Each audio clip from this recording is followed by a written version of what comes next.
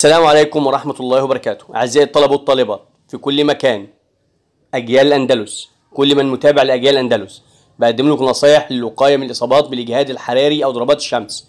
عملت نفس النصايح دي موجودة على قناتنا التانية أجيال الأندلس منوعات. أول حاجة يا جماعة أول حاجة اشربوا المية على قد ما تقدروا. عاوز سوائل كتير. تاني حاجة ما تقفش في مكان مفيش فيه تهوية. تالت حاجة ركز قوي. لو انت حسيت بالتعب لازم ترتاح في مكان يكون فيه تهوية كويسة وظل كويس. الجسم عرضه دايما لتكييف أو مروحة. الاستحمام يوميا بماء يكون كويس ما يبقاش سخن. استعمال المظلة الشمسية أو القبعات بسبب الأشعة الشمس ضارة. بكرة صعب جدا يا جماعة. الامتناع عن. عن المشي في وقت ال- الشمس في مسافات طويلة حتى لو هتكون راكب عجلة حتى. الملابس الفضفاضه تكون واسعة والألوان تكون فاتحة. بعد كده يجب على المريض اللي بيعاني من أمراض مزمنة ما تعرضش نفسك للشمس الشديدة لأنها بتتعب جدا وأنت أكثر ضرر ليه.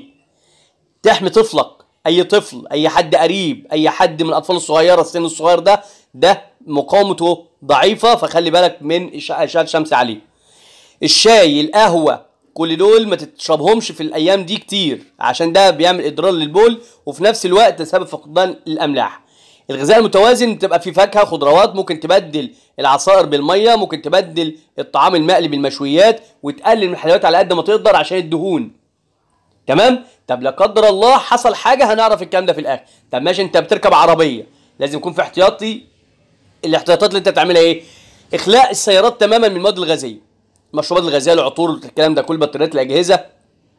فتح نوافذ السيارة بشكل بسيط بحيث يدخل هواء ويبقى فيه تنفس. ما تمليش خزان ال- العربية بتاعتك بالوقود كتير. برضو الإطارات السيارات ما تكونش مليانة جامد وأنت مسافر. ربنا يا رب يرجعكم بالسلامة ويحفظكم. قولوا آمين. إيه لا قدر الله حصل إصابة. طب نعمل إيه؟ لازم يكون في راحة تامة وتشرب مشروبات باردة باردة. بس مش تلج قوي يعني. تغسل جسمك بالكامل في دش بارد. المية تكون مغطية الجسم كله بس تحافظ على التنفس. الملاية تكون مغمورة بالماء. لو انت المريض هتحط عليه ملاية في كمادات تحطها ما بين الإبطين وبين الفخذين آه، في مكان يكون مكيف فيه هواء تشيل الملابس اللي هي آه، بيكون عليها يعني بتشد الحراره كتير وفي نفس الوقت بتشيل ملابس المريض ترش عليها مية وبتركز مروحة على جسد المريض عشان تخلص من الحرارة بسرعة كبيرة وعدم استخدام الماء المثلج لأن استخدام التلج يتسبب في الرجفة فتزيد من درجة حراره الجسم. تمام؟ طب لا قدر الله مش قادر تعمل أي حاجة اتصل بالأرقام التالية. 123 ده الاسعاف 105 قطاع الطب الوقائي 137 ده الرعاية المركزية أو الرعاية المركزة. خلي بالك من الحاجات دي كلها انشر فيديو حتى تعم الفائدة ويا رب دايما من سلامة لأمان ويا رب دايما في خير وأمن وأمان. احذروا بكرة في نوبة حر أو جو حر شديد جدا بكرة هتعدي ال 40 درجة. ربنا يعافينا ويعافيكم ويستر علينا جميعا يا رب. قولوا آمين. انشر فيديو حتى تعم الفائدة وغيرك يستفاد لأن في غيرك ما يعرفش المعلومات دي. في أمان الله.